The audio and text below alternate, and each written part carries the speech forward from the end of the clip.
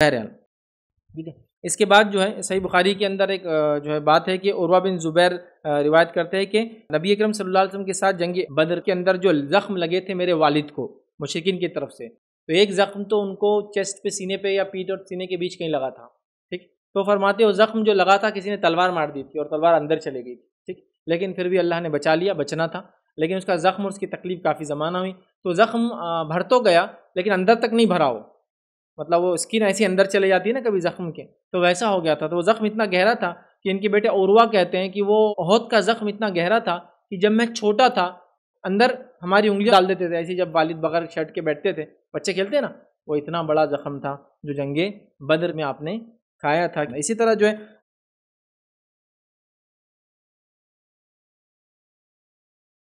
वालेकुम आप भी हमारे इस काम में करें, अपनी ज़कात सकात के ज़रिए। डोनेशन डिटेल्स के लिए डोनेट पर क्लिक करें। अगर आपको हमारे वीडियो पसंद आए हैं तो इसे शेयर करें और सबके हदार बने। रोज़ाना हमारे वीडियो को पाने के लिए हमारे यूट्यूब चैनल को सब्सक्राइब करें और बेल आइकन दबाएँ। हमसे दीगर सोशल मीडिया पर जुड़ने के लिए वीडियो में दिए गए आईडी को सर्च करें। जजाकल्लाह।